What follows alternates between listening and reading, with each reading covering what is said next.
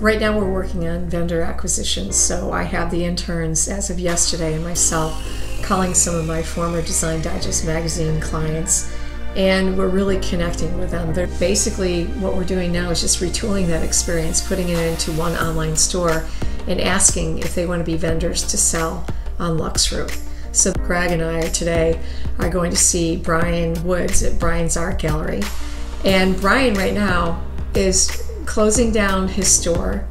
He is not selling direct from the store, so he's really happy that he would have a place to sell online. He's got some really um, very luxurious art products.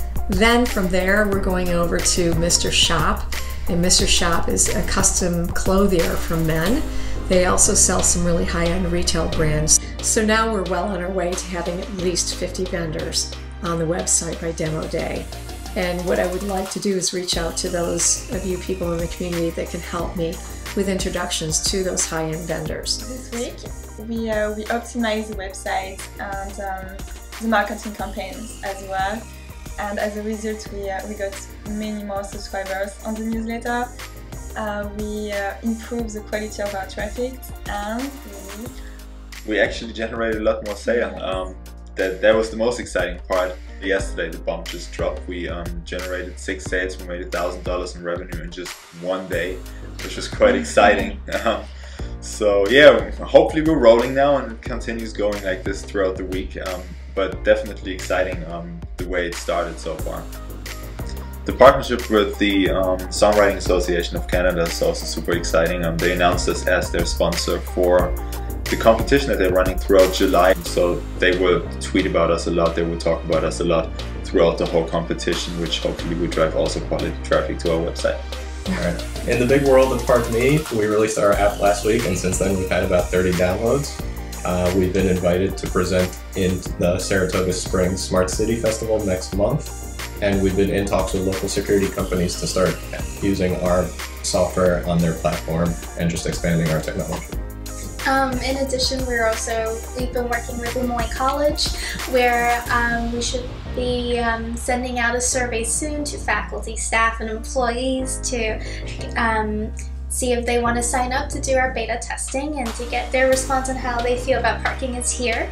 And um, if you want, you could check out our newsletter, which we publish every week, and um, at www.parkme.com. And on the tech side, this week we've been experimenting with our fourth generation of cameras, uh, of sensors in general actually.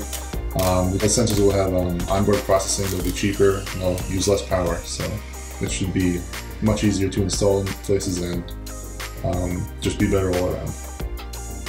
At uh, this has been an exciting week for us. We had a couple of signups uh, for our beta uh, program and uh, we actually had an interactive session with one of the customers of our product um, a couple of days ago and they gave us really good feedback and few feature requests so they wanted um, an inbuilt browser into the app to share with their peers and also the ability to see where the user is clicking inside of their app uh, for the customer support vertical that we're addressing. We've also been doing a lot of development in our SDK and our backend to improve stability, scalability, um, and um, bug fixes. Um, so along those lines of the customer support vertical, I'm really trying to explore it some more. So we've been updating content on our website. Added an educator video that is specifically geared towards the benefits of customer support that AppFuse can bring them. Um, and finally, what we need uh, from um, viewers this week is we're really trying to get more users for our app and looking for app makers that can benefit from the customer support angle of AppFuse. So, you know, you know, if you go to our website and you know sign up, we would we would love to work with any one of you um, with our beta test. We spent we were just last week and we spent a whole week of sessions, interesting mentor sessions. We met a lot of people that gave us a lot of insights. And now we're discussing all of that with our sales team in Barcelona in order to start implementing the techniques that we learned. And we already have done a whole research of the East Coast market. So we're going to start approaching now them with the cold calls and emails that we have prepared together with mentors. Mm-hmm. Actually, yesterday our interns started doing their first cold calls and had the luck to present to one New York museum uh, our solution and over a shared screen session. And the guy said that actually with our technology he could save hours of work a day. He was a content editor for a museum.